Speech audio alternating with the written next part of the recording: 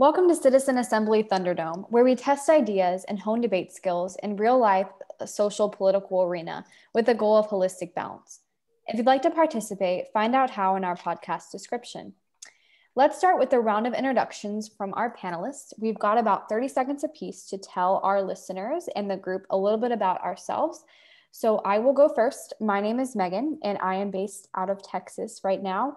And I have a wide variety of interests, but uh, most right now it's mostly in education, as we'll talk about tonight, but also in nutrition as well. So now I will go ahead and ask Dan, would you please introduce yourself to the group? I'm Dan Bader uh, from Chicago. Uh, I've retired from the Chicago Department of Public Health, and my interests are public health, mental health, uh, abrupt climate change, and currently uh, biowarfare, vaccination issues, uh, and uh, depopulation agendas.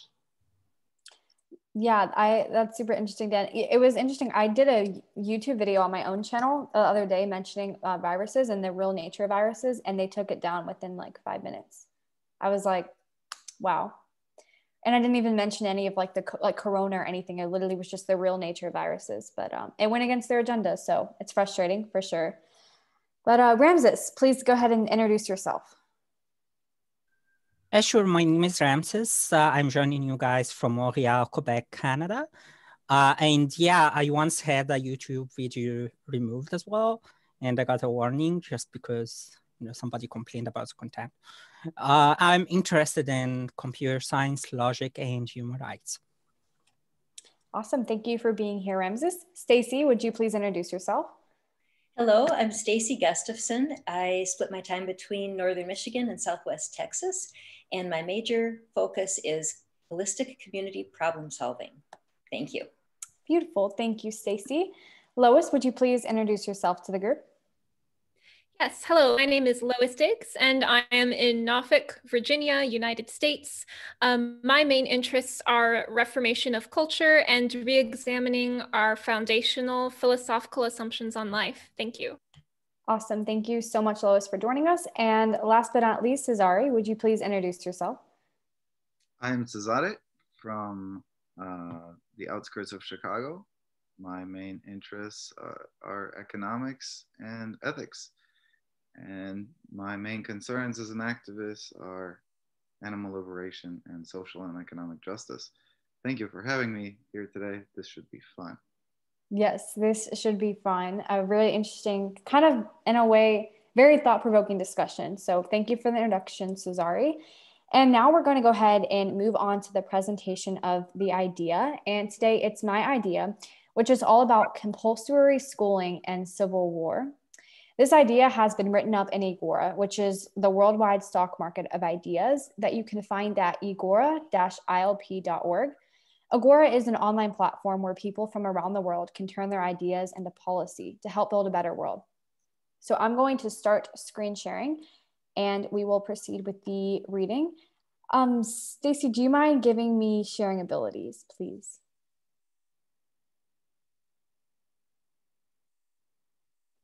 This idea, I actually, thank you, Stacy, by the way.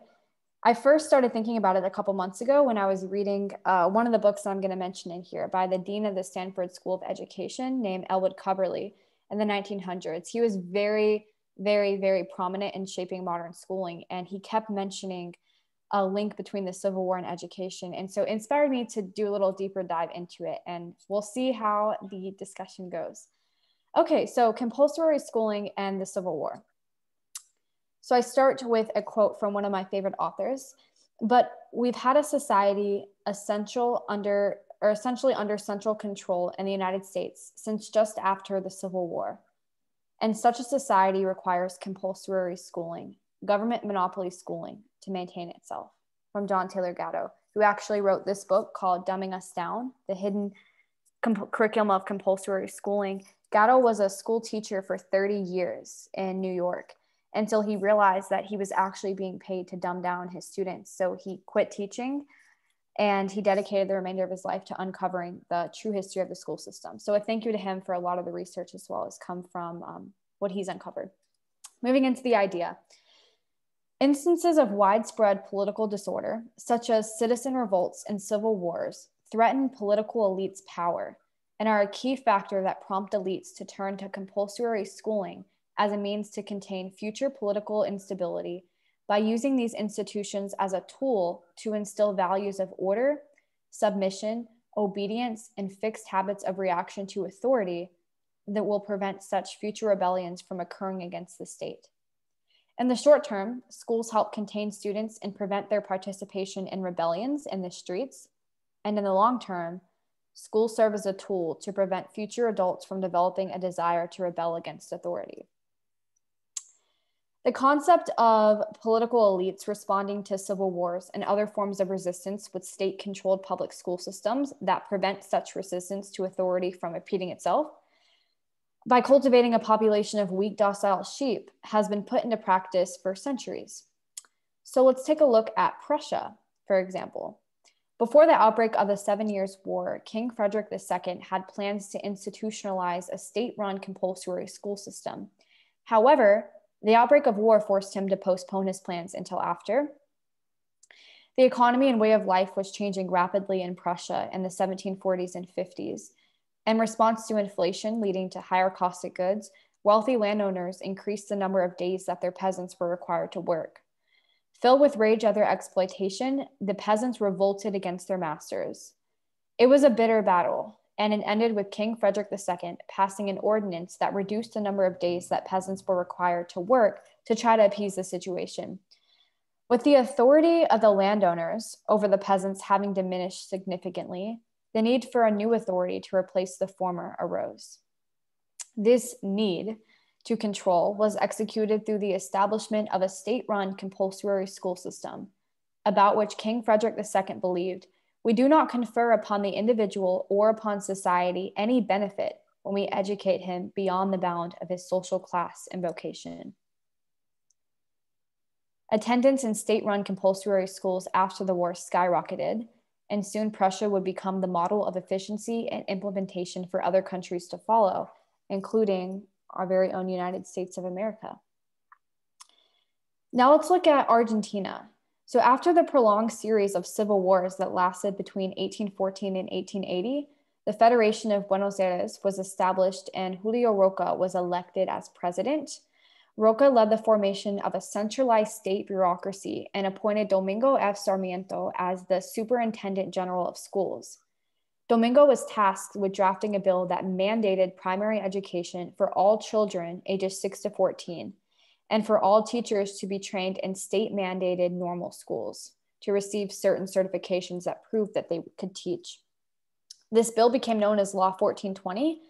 Following the, law, uh, the war, Accelerated attendance in schools immediately followed. We'll also look at Chile. So in January of 1859, military leaders in Atacama rebelled against the central government in Santiago. They questioned authoritarianism, opposed church and state intermission, and demanded lower export taxes on copper and silver. After four gruesome months, the Chilean government defeated the revolting citizens. And in 1816 or 60, following the end of the war, Congress passed the first national law regarding the government's involvement in education. This was known as the General Law of Primary Education, and it established the central government as the primary controller of schools in Chile. By 1863, there was a rapid increase in the number of schools and the students that were enrolled in them. The timing of the 1860 law is suggestive that the 1859 Civil War prompted congressional members to work together in unison toward the formation of a national compulsory schooling system that would help prevent future rebellions against authority. Interestingly, the central government's efforts to expand compulsory schooling were far greater in provinces where the rebels had been most difficult to defeat and posed the greatest challenge to the state. So now let's look at the United States of America. Could it be possible that the American Civil War was much more than a battle of differences between the North and the South, and that it too served the greater purpose of establishing more government control through the implementation of state mandated compulsory schools? Well, in his 1916 publication of Public School Administration, Elwood P. Cubberley, the dean of the Stanford School of Education, wrote that the battle for the establishment of tax supported public schools was a bitter one. But after about 1850, it had been won in every northern state. In the southern states, with two or three exceptions, little was accomplished until after the Civil War and the period of Reconstruction were over. So, just how bitter was this battle against state mandated public schools? According to John Taylor Gatto in his 1992 book, Dumbing Us Down The Hidden Curriculum of Compulsory Schooling, forced government schooling was resisted sometimes with guns by an estimated 80% of the Massachusetts population, the last outpost and Barnstable on Cape Cod, not surrendering its children until the 1880s, when the area was seized by militia and the children marched to school under guard. In his 1976 book, The Goddess, the School Book, and Compulsion, Charles Burgess suggested that following the Civil War, a dramatically different concept of union gained popularity, primarily among, among uh, intellectuals.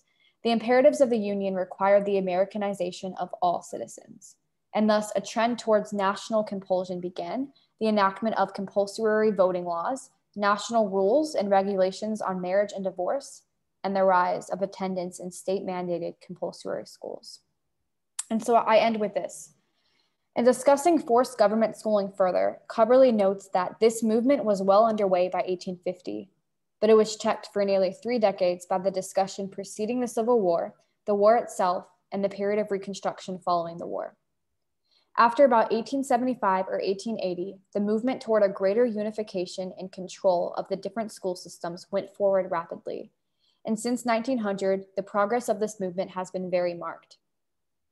The process has been one of the transference of powers from small communities to larger schools in the interest of greater efficiency in school administration. The school district has been forced to surrender powers to the township, the township in turn to the county, and the county in turn to the state, meaning state as a nation overall. And then below here are some of the books and sources are referred to if you would like to do your own research into these. And I will put that link to this idea in the chat. Okay, so, and just as once again, the idea was summarized at the very top. I know it was a lot of information. The point was for the idea and then the supporting evidence. So if anybody would like to reread the idea again, I'm going to copy and paste that right now in the chat. Okay, and we can take, and hello, welcome. So we can go ahead and take a, just a vote, a general vote. Who is in agreement with this idea? Just show of hands. Okay, so it looks like Dan is kind of halfway there. Cesare is abstaining. And then um, I, I want to make sure I'm pronouncing your name right. So um, Al Hassan, is that right? It's actually Abdul. Oh, Abdul. Okay, great. Welcome, Abdul. Well, I put the link in the chat to the idea we're discussing, Abdul. So feel free if you need to take a couple moments to go ahead and. Um, you. All right. Okay. Uh, that's okay. I've seen it. I'll go ahead and I'll check it out. Okay, awesome. Well, we'll take another vote at the end too.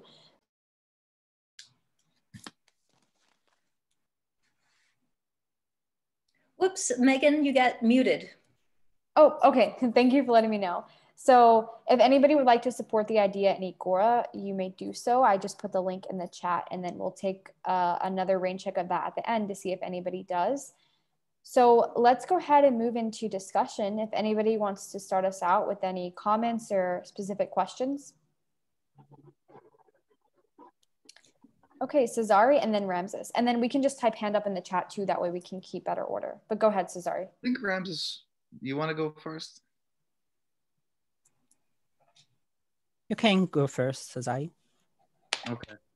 Um, so, you know, I mean, looking at the, the content of this idea that schooling, these institutions are a tool to instill values of order, submission, obedience, and fixed habits of reaction to authority um, that will prevent continuing that will prevent future rebellions from occurring against the state.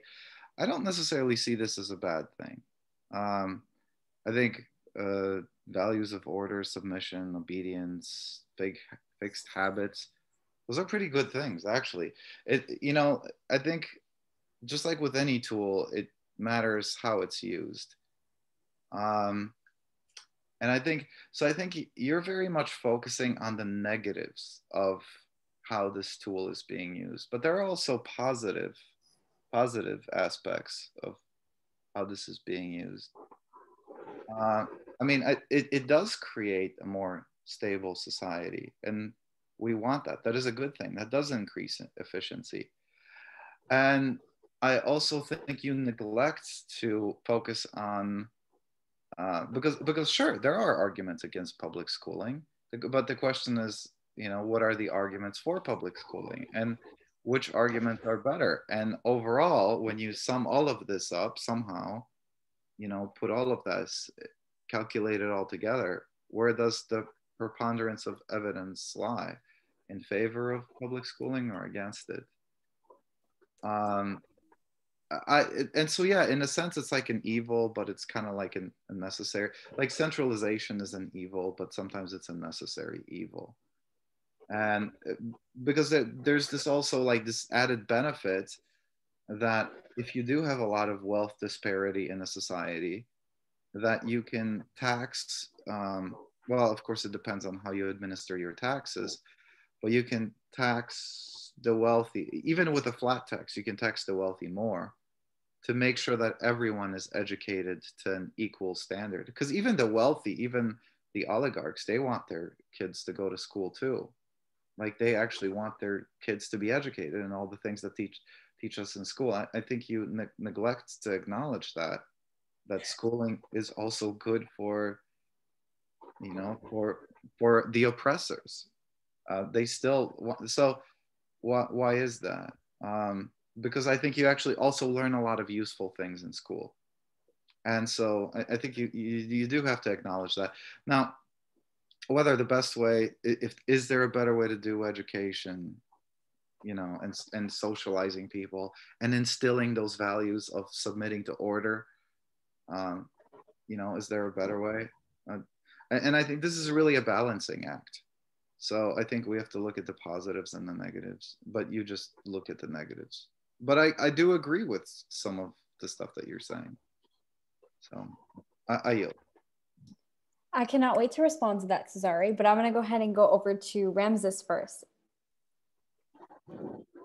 I can't wait to respond to this uh, as well.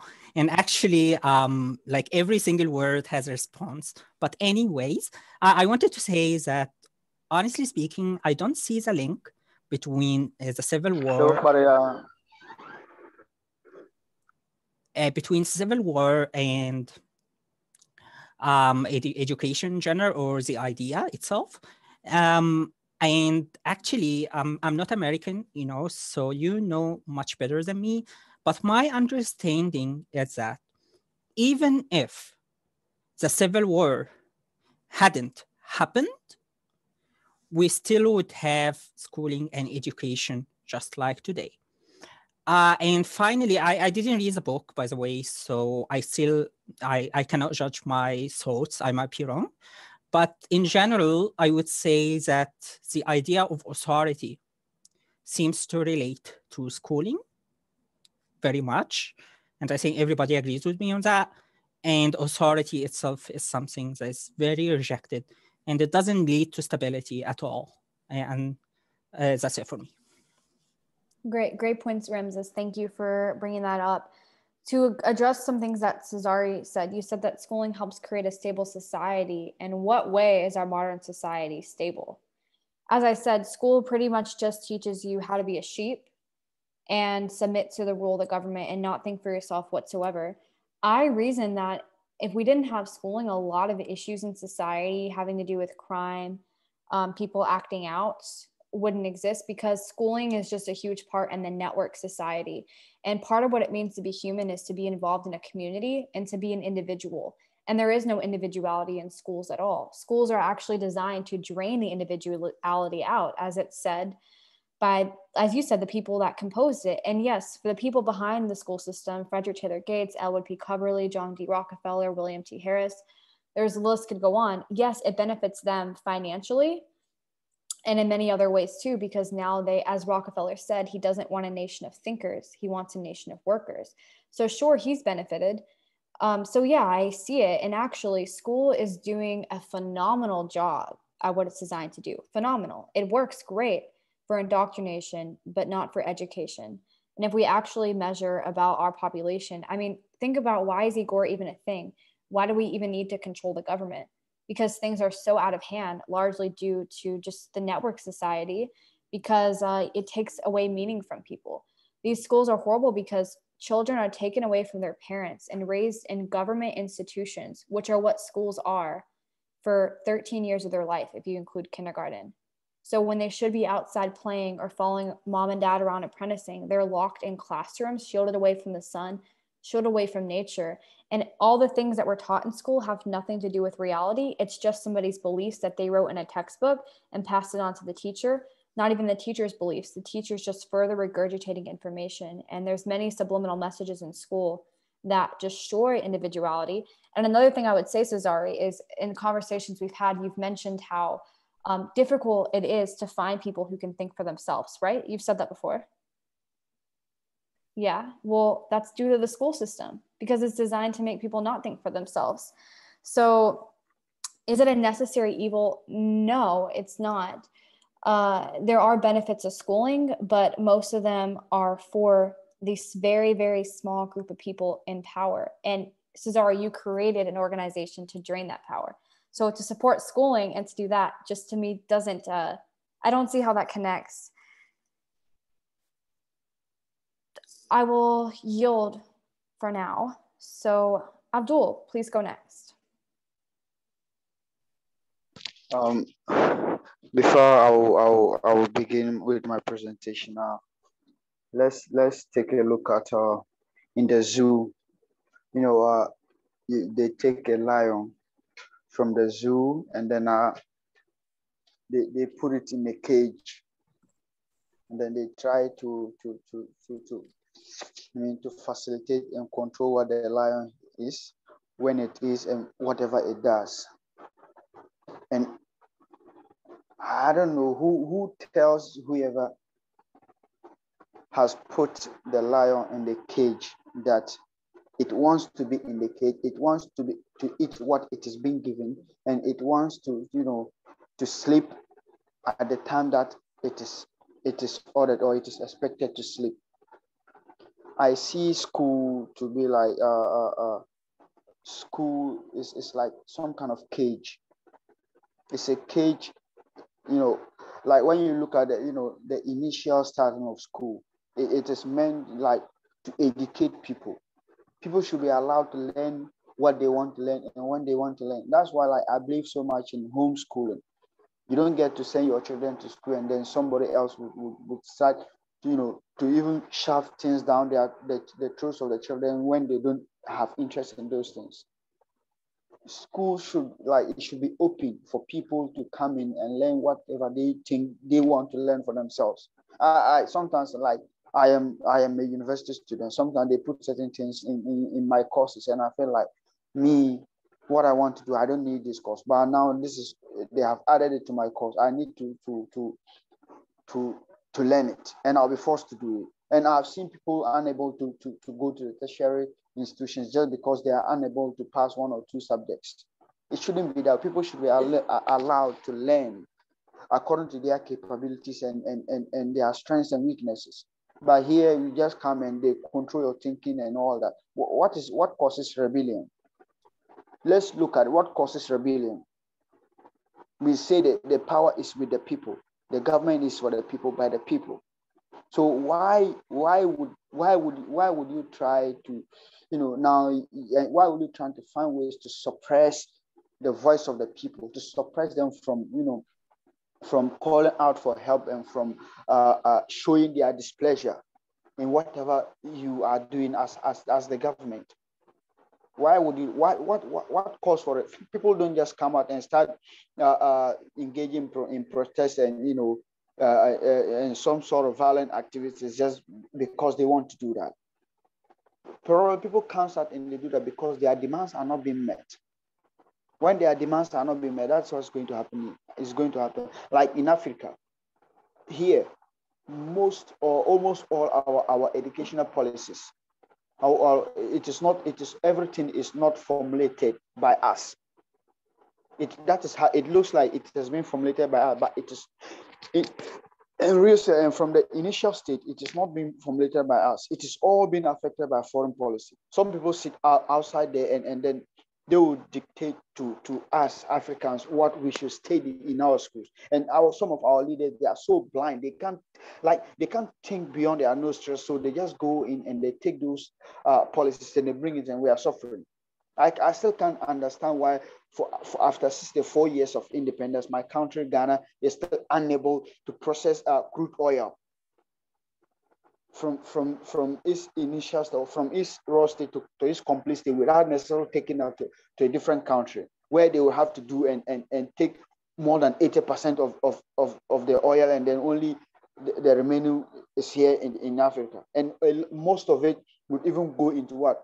Uh, uh, uh into pockets of selfish leaders. Why, why would, why, why, why for that long time, for, for 60 years, more than 60 years, and since after now with this education system that they are using, and still people are not realizing their dreams. A lot of dreams are being put to death in this country just because of this educational system. It is a cage. Anything that you want to do outside of it is it's like you are made to look like a rebel. You are made to look like an, an outcast but it, it shouldn't be that way. People should be allowed to learn what they want to learn and when they want to learn.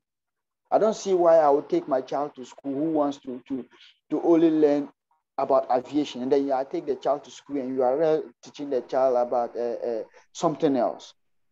It shouldn't, it shouldn't be that way. People, children should be allowed to, to learn uh, according to what, what they really want to learn. You know, when we were kids here, there was this uh, uh, uh activity that they used to do uh, when we were about to vacate. We, they used to call it art and craft.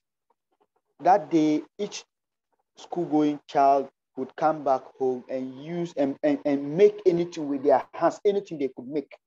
Anything, they could make anything out of anything and bring it to the school to present it to the teachers just to see what this child is interested in and what the child might be able to do. And some of us, we used to get uh, tin cans and, and, and tin cans, and then we make cars out of it. We make uh, uh, a lot of cars, different types of cars, and we try to make anything out of it, and we go and present it as art and craft. And uh, keep it down. Abdul, I'm so sorry to cut you off because you're preaching right now. You really are. I love everything you're saying. Can we come back to you because um so that way we can get around i think we'll we should start timing us all at like between three and five minutes. And then if we get over we'll just come back. But keep right. exactly where you are. three minutes is plenty. Okay three minutes? Okay that's what we'll do. So we'll keep and i'll actually i'll just keep a regular time and then pay attention. This goes for everybody even myself because i tend to overtalk to um, pay attention to the screen. And then we'll let you know whenever there's time. But cesar you are next. Megan could you please allow abdul to wrap up this point Sure. Yeah. Uh, go ahead, Abdul. If you can wrap up as quick summary what you were saying. Yeah. So so so what I'm saying is, uh, the school. Yeah. There's there's the need for school. There's the need for education, but people should be allowed to learn what they want to learn and how they want to learn it, as far as it doesn't put others in danger. Let, let's not sit down for somebody else to come and tell us what we should learn. It should be open so that people can get to decide what they want to learn and not uh, uh, uh, what somebody else will sit down and say they want to learn. It's like some kind of prison where you are all in the inmates and then they decide to tell you whatever you want to do, when to do, and how to do. And it shouldn't be that. It's like you can't think for yourself. You don't know what you need and what you want. So I really, I'm really hoping that like the the the the, the method of schooling, the way of schooling in the world will change. And I'm hoping that we will have a great deal of impact in that. I yield the floor. Thank you, Abdul. Very, very well said. I agree. School is like a, a, cage that traps people, but they don't even realize the cage is there. And so it's like, how can they ever get out? So, really, really great points. Thank you so much for that. Cesari, go ahead. So, kind of to comment on what Abdul was saying, because uh, I've recently redeveloped this one like the leading education idea in Egora, and it's also getting quite a bit of support. Uh, but one of the points is to say that people should be exposed, especially bringing up children to be citizens. They should be exposed to certain materials, to certain ideas. They should be aware that those things exist, and and really as a part of their rite of passage to becoming citizens. Like maybe they're not interested in biology, but there are certain things about biology that they should know. There are certain things about math that they should know. Um, there are certain things about, or, or, at least that math exists, you know, or that biology exists, that people actually study this and they know what they're talking about when they spend a lot of their time using the scientific method to study things. You don't have to be an expert on it, but I think you should be aware that this exists so having this kind of standardized base of knowledge, I think it's very important for people in society. Uh, but there are many different ways of delivering this kind of education. And this is one of the, the points I think that you, the differences that you tend to make, Megan, is that you draw the difference between education and schooling. Uh, and because you are in favor of education, but it's schooling that you have a problem with. I, I think it's a matter of how schooling is done, because uh, schooling is just a way to to attempt to do education, and not to say that that's the complete way of doing education. There's more to education that some some of it just has to be done uh, on your own. But um, but the point is is that since the last time that we've had this discussion, I'm curious. Uh, well, because I brought up, I said that you know, Finland has an education system that's ranked number one in the world and that people are extremely happy with it. And so since the time I mentioned it, and I'd really like to give uh, to give a yes or no answer to this. Have you looked into the Finland's education system? Because I am expecting, and I, I hope I'm wrong, but I am I'm willing to bet that you've spent your time just learning about how much you hate school rather than actually educating yourself about other people who do it right. So please prove me wrong and, and tell me that you've actually researched the, the Finnish education system. Did you do it or not? Are, are you finished with your point? I am finished with my point. Okay. Okay. Thank you, Cesar. So I'm next. Uh, to answer your most recent question, I'm not in favor of any kind of schooling that has to do with the centralized government. So, no, I have not looked at Finland because I don't believe in schooling in general. In fact, I advocate that we just tear down the entire school system and we don't rebuild any kind of centralized system. But in fact, schooling begins or education is something that's done privately within the family. It's an intimate experience that no centralized body should ever do. So, the Finland school system, uh, the idea of a state centralized school system is not in any field of my interest. I'm all about decentralizing and restoring family and thus community. Now, to comment on um, one brief thing that Cesare mentioned, and then I want to kind of bring it back into the connection uh, about civil war, which is the basis of this discussion. I agree, Cesare, what you said that children should be exposed to a wide variety of experiences and topics, and the modern school system is not the way to do that because it kills curiosity for most people. I know it did for me until I actually wasn't in schooling anymore. And then I realized that I could learn the things that I wanted to. And it, it that's real education. Uh, schooling is, as I wrote in the chat, it's just indoctrination. It's the imposing of one's beliefs upon another. And in this, the modern school system, the kids actually don't have a choice they're graded based on their performance, uh, not for who they are as a person or what they're capable of doing in the world, but of how some far off stranger says that they can uh, respond to information or regurgitate information. Education is more of an intimate experience. It's really about discovering yourself, your purpose, who you are, why you're here. And I believe that nobody should get a schooling until they're educated. Because once you're educated, then you can start to see what kinds of things am I interested in? So I'm interested in homemaking, for example. So I'm learning what are some things that I can do about that. Because I'm now an educated person, I know what I want. And now I can go listen to somebody else who knows more than me, and I can willingly accept them imposing their beliefs because I'm willing. And that's a big difference. And one way we can do that is um, as parents, what we should do to our children is when we homeschool them, expose them to a wide variety of activities, expose them to different subjects, different books, different experiences, take them around the city, take them to different farms and families. So they get to see everything in real life. And then as they start to have specialized interests, whether that's biology, horseback riding, baking, or selling eggs at the farmer's market and raising chickens, whatever that is, we start to find whatever they're interested in, whatever their unique factor is, and build on that as parents and I think that's the way it should be done. And then just talking about the Civil War, because Ramses, you mentioned that you don't see the exact connection, and that's understandable. It's actually a, a very subliminal one. Not that it was the primary cause of the Civil War, but I believe that uh, it was definitely an underlying one. If we think about it, the Civil War ended physical slavery, but slavery didn't actually go away. It just became spiritual slavery. So now we have a nation and actually a world of people who are enslaved, but they don't even realize they're enslaved because they're not bound in physical chains. And this is actually more detrimental because how can you free yourself if you don't even realize that you're trapped? Okay, I will yield to the who's next. And I believe, correct me if I'm wrong, but I believe it's Dan and then it's Lois.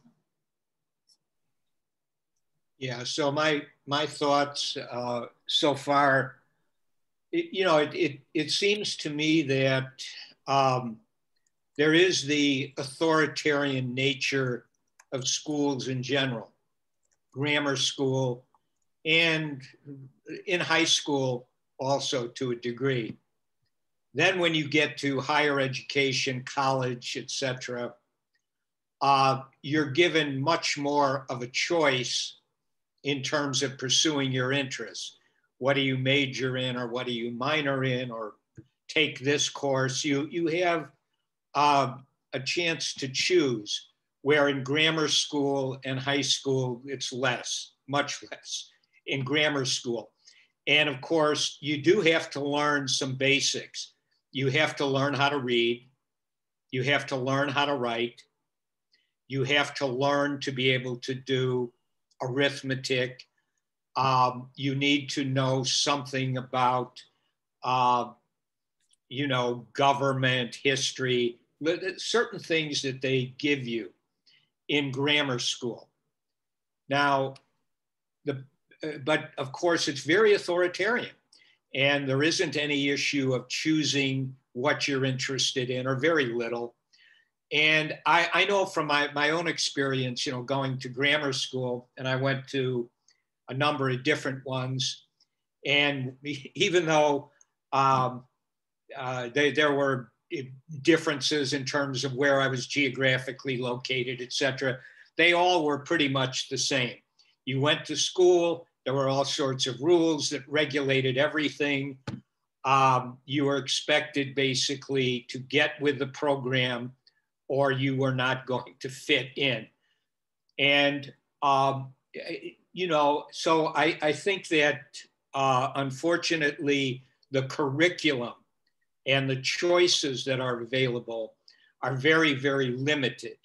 And, and the authority, you know, and again, uh, things are a little less authoritarian in high school, much less authoritarian in college.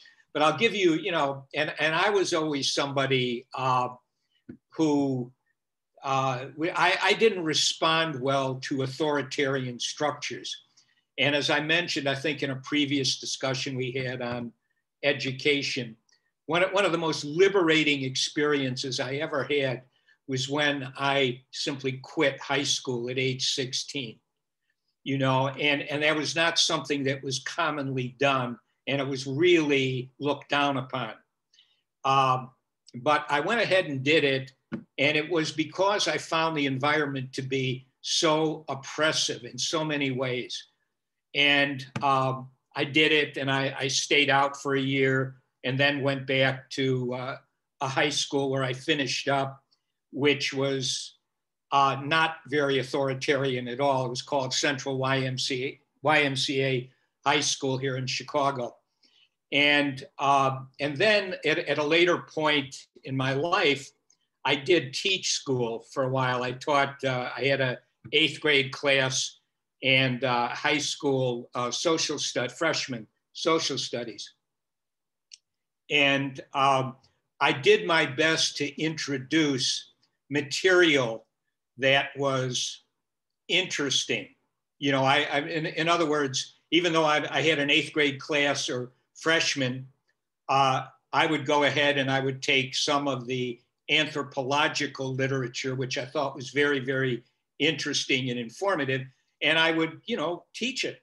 And and uh, you know, they liked it, uh, that kind of thing. And and what one final uh, thing that I would that I, I experienced was when I when I was in college, I took a course in uh, logic in a philosophy department, and uh, the book that was used was written by one of the professors in the department, and I found the uh, you know kind of what they you know the language that they were using to express logical propositions, etc. Uh, uh, I found it to be uh, very much uh, kind of confusing and I didn't care for it.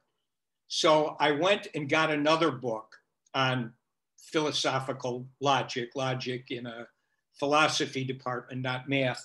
And, and, and I went ahead and I talked with the professor and I said, you know, this book is really good. You know, this is how, in a way, naive I was at, at that point in time.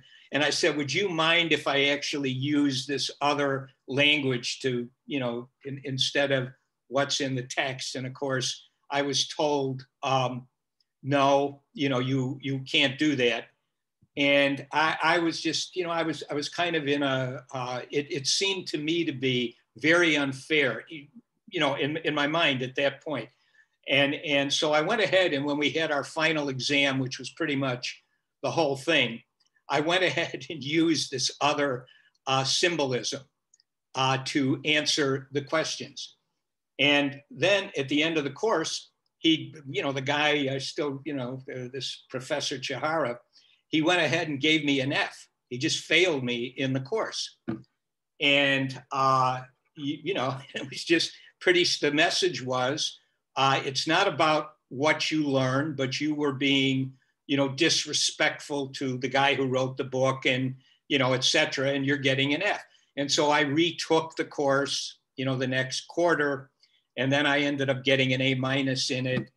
Uh, and but it it taught me uh, a, a, lesson, which is uh, it's it's about you have to do what you're expected to do and even if there's uh, another way which is easier, it's it's not allowed. And and that that's on a college level. If you take it down to when kids are in grammar school, and uh, there's so many problems, and even in high that come about. Somebody may not have uh, necessarily mastered the arithmetic they teach you in second grade, and then but you know you kind of were there you get promoted. Okay, sorry, I'm going to wind it up. Thank you, Cesare. Uh, so, you know, what happens is individuals get lost in the system. They just simply, uh, you know, suffer for it. And so I would say curriculum is really important, much more choice, and the obedience to authority that you get instilled with uh, uh, is, is a real problem. And so many people end up hating school, just simply hating it because of that authoritarian rigidity. And uh, thank you for, for the time. Yeah, a great point, Dan. It really results in a hatred of school and really just a hatred in learning in general. Not even hatred, but more of just complete uninterest, curiosity destroyed. Thank you, Dan, for that. Stacy, you are next. Okay, public schooling for the purpose of keeping people from learning. Um, Cesare, you said that you believe in the public schooling, but um, it's based on control and teaching us, making sure that we, the, the, there's a quote, Megan, that you have that says, it was created in order to make sure that we don't become philosophers and architects and everything. They're trying to, and it, it was repeated over and over. It's, it is there to keep us at a level of vocation so that we will fulfill their workforce. And so to say that, and, and then to say that schools, public schools are needed in order to teach these basic things. Uh, I heard from another talk that literacy was better before public schools.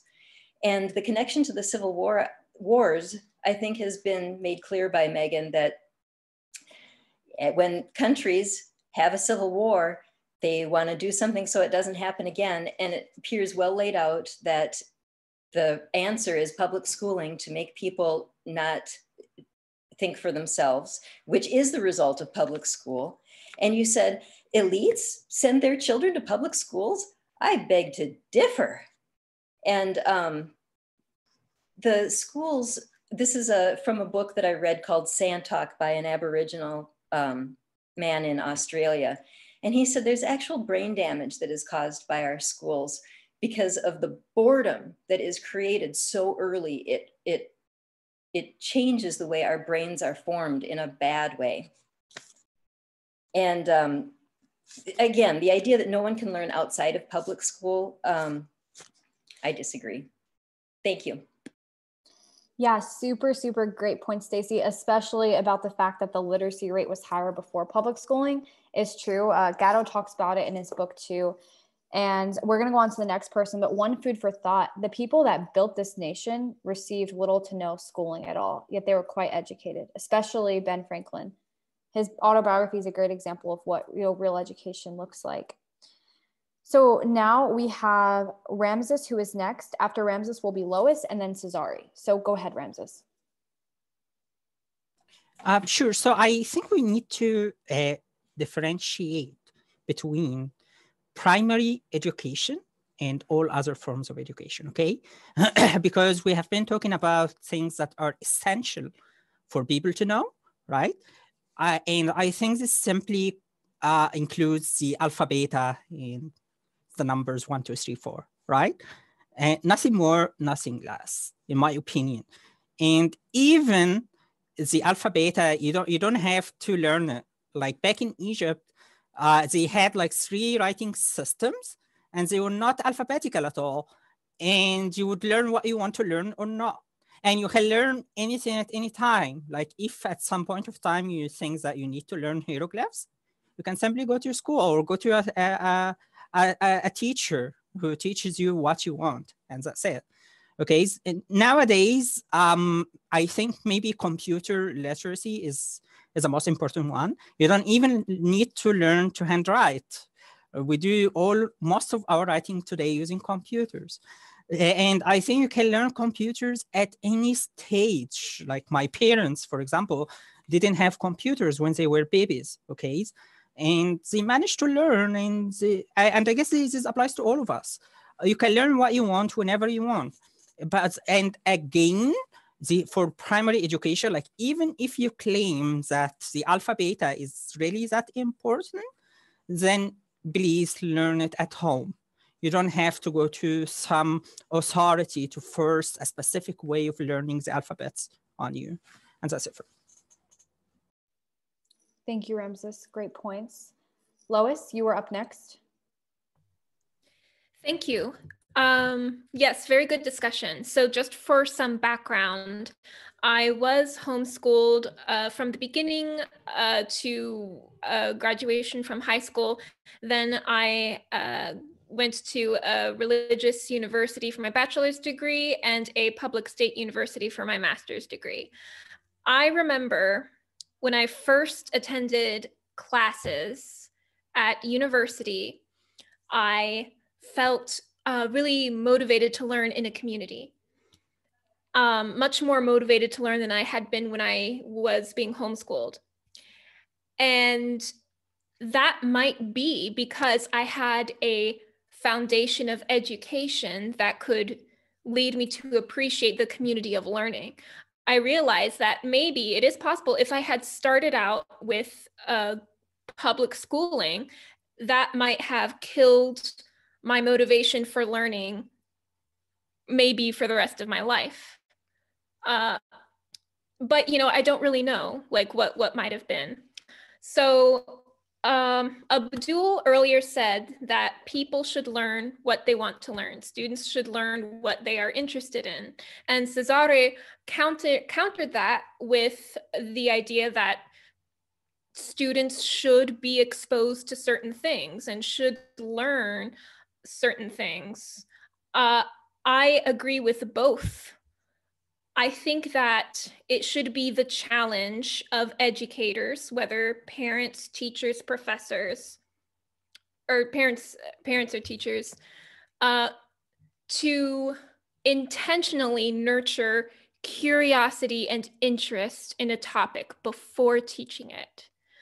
It is possible. I, I think I remember hearing about uh, parents who uh, wanted their child to go to kindergarten, but the child didn't want to go to kindergarten. And so they were very, very creative with finding a way to make the child want uh, this education. And I think the same thing can go for learning how to read. I do think that learning how to read is essential in our society and culture. I do think it is one of those necessary things to learn um, but some students, some children may not want to learn how to read. And in that case, I think the solution is not to just, oh, okay, then we won't teach you. I think the solution is to find how to motivate them and how to interest them and then teach them. Um, uh, I yield the floor. Great points, Lois. Thank you. So Cesare is next, and after that, we're going to move into closing remarks. So I, I, want to thank you, Megan, for disproving yourself. I mean, that was actually beautiful to watch. Um, because,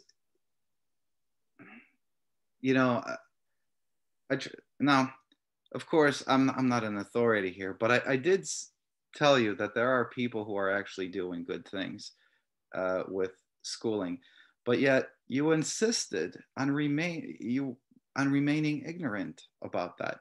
You refused to learn. You refused to educate yourself on your own about something that is so interesting to you in general.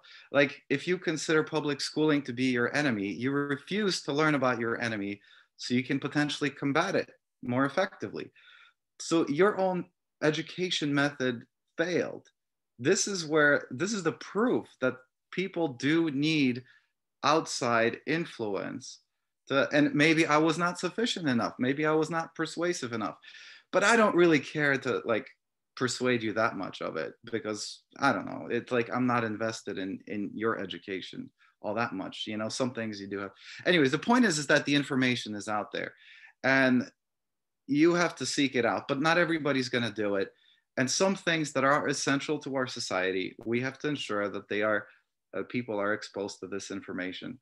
Um, it's not essential for everyone to learn about all the different public schooling models, um, but it's essential to know that there are authorities on the on various subjects, and that we should go to those authorities and learn from them, not just to believe that we know everything and that just be willfully ignorant about something uh, just be dogmatic about our beliefs. So I think that's uh, you know pub- public schooling is important for you know breaking people out of that, showing them that there is they don't know everything, that they everything that they think is not right. You know, so anyways, uh, the other point I wanted to make real quick is that you know don't fall into this dichotomy. I think everybody here, well, no, not everybody.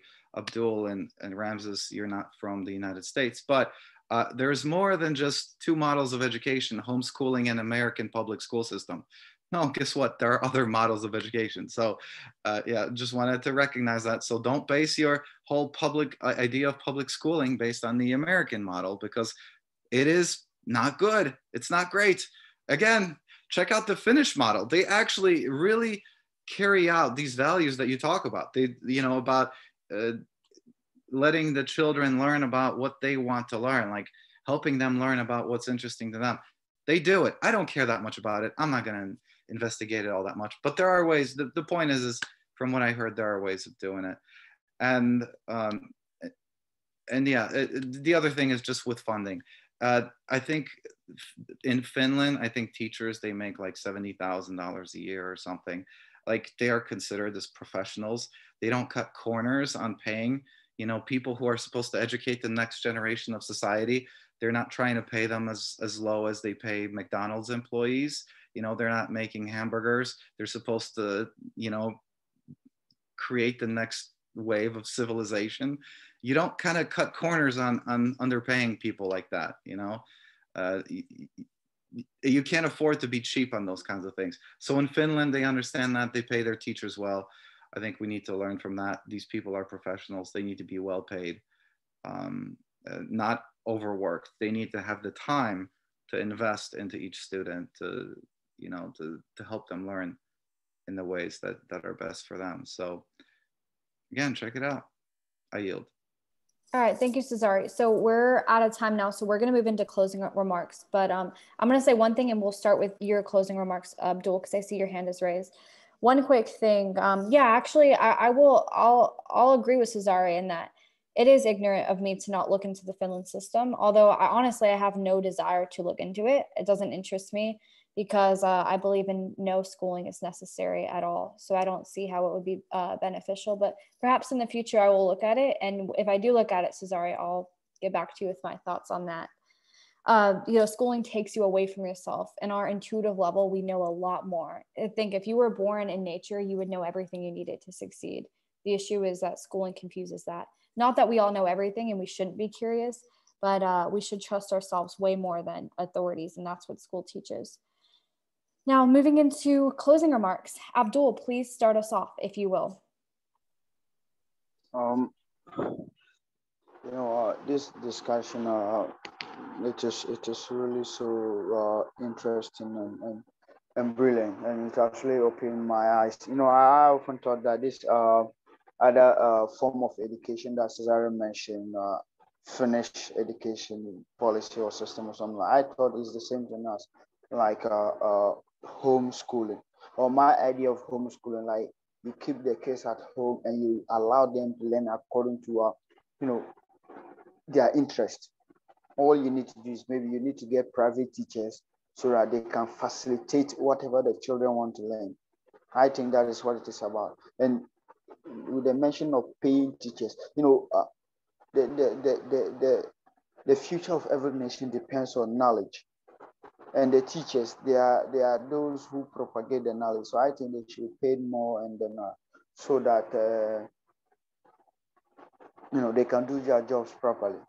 And to end on this i think uh, it's really great that we you know we we discuss this idea and i hope that next time when we have to discuss it we have more people to participate in this. And then uh subsequently we would also be able to you know to bring this out to the general populace of the world and then to make a change so that we will be heard and then uh, our ideas can be implemented. I yield the floor awesome thank you so much abdul for joining us tonight and for all of your great insights i will move over to stacy now would you please share your closing remarks wow that uh, we could have gone for three hours or more on this one. Boy, that was a great discussion. I love everybody's comments and um, yeah, I really believe in this. It's it's really opened my eyes. The connection to wars. Um, thank you so much for bringing that information up, Megan. I, I had no idea, and I think it's really important. And I agree, we should get this information out to everybody. Everybody should know this. Thank you very much. Thank you so much, Stacy. Dan, would you like to share your closing remarks? Yes, uh, well, you know, naturally, I really appreciated uh, the discussion. Uh, very interesting input from people. And, uh, um, you know, a shout out to you, Megan, because you've worked pretty hard at uh, bringing these topics up. And uh, thank you for doing that. I am more than happy to. I love discussions, especially around this subject. All right. Uh, Cesare, would you like to share any closing remarks? Definitely. Uh, so I guess the one point I, I meant to say about the whole uh, paying uh, teachers better, uh, because you know the financial elites they still send their kids to school. They just send them to schools where teachers are paid well and uh, you know for a quality education. And so the finnish model I, it, it, it is trying to standardize things but it's not like trying to lower everyone to the lowest level. It's actually trying to raise everyone up to that level where the elites would be you know the financial elites. Um, so um, and I, I just want to say the idea that uh, for education I support, it's 1115. It's a universal idea. Uh, I just shared that in the chat if you all want to check it out. And I'd be very interested in, in presenting that idea in the Thunderdome maybe next time. But I yield. Yeah, I would love that, actually, Cesare. If you want to present that next week, please do. Okay, perfect. Uh, Lois, would you like to share any closing remarks? Yes, I would. Thank you, Megan. So, um, just a general comment. I am very amazed, blown away by the information presented in the idea you've written, especially about the armed uh, rebellion to compulsory public education in Massachusetts. 80%. That's that number is very hard to believe. And I am shocked and uh, if this is true, I do agree with Stacy and that this these sort of things should be um, public knowledge, um, at least more than it is now. Uh, also, um, I, I think that Ramses made a very good point about uh, distinguishing uh, between different types of education at different stages. Right now, I'm thinking it probably is a good idea to begin with a foundation of education in uh, the personal type in the home. Um, but because uh, it is important, I think, to be exposed to different ideas that maybe one's parents don't know or or don't talk about that they should go to schooling at least for a time afterwards probably when they're a little bit older and more established and um, have that foundational desire to learn and are a little more uh, secure in the, in themselves. Um, and finally, I would say that I also would like to look into Finnish education to see what they do right and compare it also with their history. What's the history of their public education? Did it come as a result of a ward or did the people request it? I really don't know the answer, but I look forward to finding out. Thank you, each and every one of you, for your comments. I enjoyed listening. Thank you so much, Lois, for joining us and for your insight. And Ramses, you are up next to share your closing remarks. Yes, thank you, Megan. Uh, as a closing remark, I would mention uh, as a Finnish, uh, my, my point on the Finnish model. Uh, and you know, guys, I came from Africa, so I'm pretty close to Abdul. And speaking of Egyptian model, for example, which is the worst, like everybody hates it. Uh, when I used, when I, when I took my logic courses, I, I took two courses of logic, uh, just like Dan, but in a computer science school. And guess what? Our our professor was very open, and we had like three uh, textbooks. Choose whatever textbook you want, and blah blah blah. And when I'm done with the course, I really liked it because I wanted to to learn it. But there were other people in the same classroom who didn't want it, you know, who were forced to learn logic. And what was the result? The result was bad scores. Some people failed, and also uh, some people hated it like uh, they were like uh, I, I am in computer science just because i want to design websites or whatever. And it's their right like it's you it, it, you should have the ability to learn what you need what you want and skip what you don't want.